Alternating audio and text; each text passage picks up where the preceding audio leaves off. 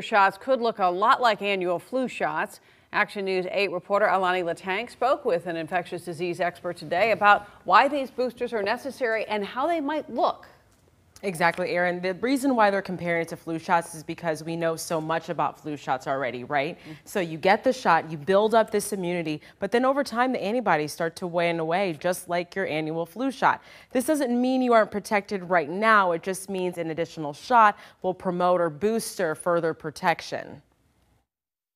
Your vaccine, um, either the Pfizer, Moderna, J&J, um, is your best prevention at getting this horrible virus. Infectious disease prevention manager Melissa Dean at Salinas Valley Memorial Hospital says research shows the COVID vaccine antibodies could wane over time, comparable to the flu shot. Your body builds antibodies within two weeks of the shot, but then uh, around six months, it starts to wane.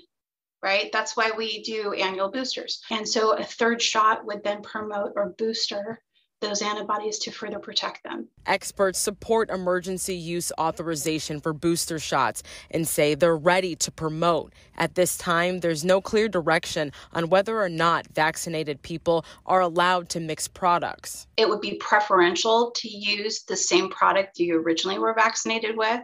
Um, there is no specific guidance or language to date from the FDA in, re- in regards to mixing product in that way. The expert says research is still being conducted on booster shots, but those on the front lines are pleading with those unvaccinated to get started before it's too late. I really believe that if uh, anybody who's out there is on the fence uh, could just stand in my and my colleagues' shoes for even a day, even an afternoon, um, a lot of that hesitancy would go away because we see so much suffering and debilitation and you know some sometimes death caused by this disease and it is largely preventable as we approach fall, SVMH says they have gotten guidance from the FDA, FDA that other vaccines can be given with the COVID vaccine. So this includes your flu shot, which people can get alongside with their COVID vaccine. And again,